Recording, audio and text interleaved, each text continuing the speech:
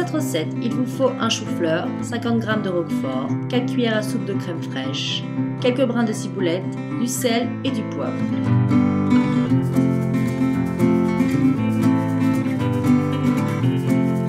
Séparez votre chou en plusieurs morceaux.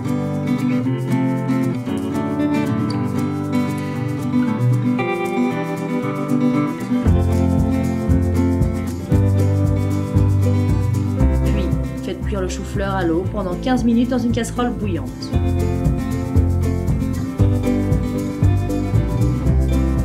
Préparez votre sauce. Dans un mixeur, placez la crème fraîche et le roquefort. Mixez pour obtenir une sauce homogène.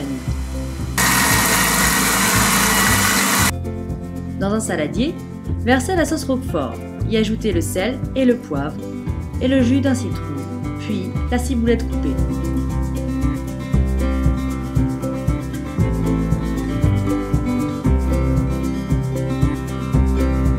Lorsque le chou-fleur est bien refroidi, le mettre dans le saladier.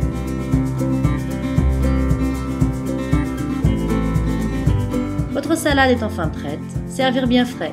Bon appétit